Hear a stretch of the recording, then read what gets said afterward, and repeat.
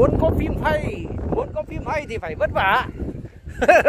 Đây, đang trên này mà có những cái tầm cỡ như mình nhỉ đây, đi quay một vòng này đồi cát nhá. Đồi cát mà lại giữa trưa nắng là nói nhá. Thấy chưa leo nữa lên đây, giữa trưa nắng. Người ta bảo là, sao lại không đi ô tô? Mình thật thà luôn không có tiền không phải là tiết kiệm mà là không có tiền. Đấy, thông điệp để truyền đến tất cả mọi người là không có tiền.